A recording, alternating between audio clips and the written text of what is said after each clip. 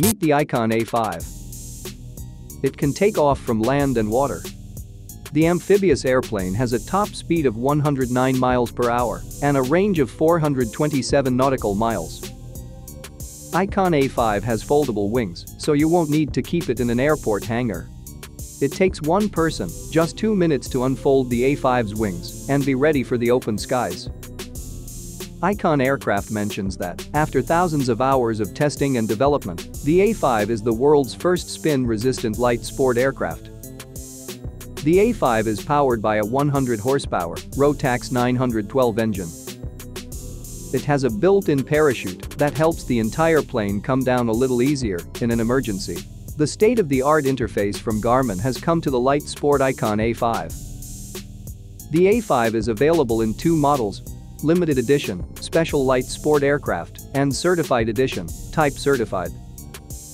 The two-seater aircraft costs around US $359,000. Its ability to land anywhere makes it the ultimate weekend getaway vehicle. The plane is aimed at people that have no prior flight experience. Icon runs training programs to make learning how to fly a seaplane safe.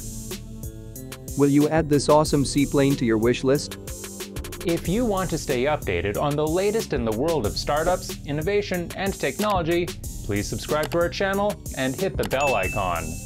This is a revolutionary personal aircraft for recreational and professional flying. The innovative gyroplane boasts an impressive maximum engine power of up to 141 horsepower.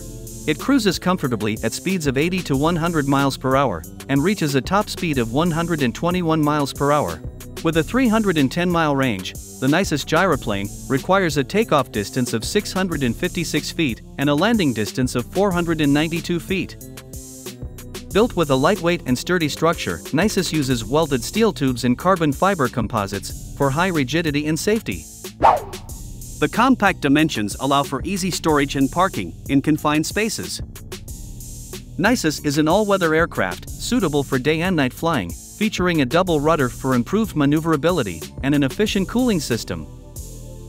The two-seat rotorcraft offers a side-by-side -side cockpit for panoramic views during flights. The enclosed cabin has cushioned reclining seats with adjustable belts and a striking red and black color palette for the controls. Nisus incorporates a buoyancy body design, conserving energy as the gyroplane flies faster.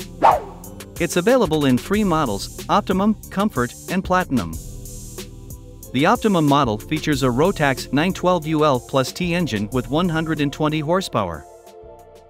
The Comfort and Platinum models feature more powerful Rotax engines, delivering 130 horsepower and 141 horsepower respectively.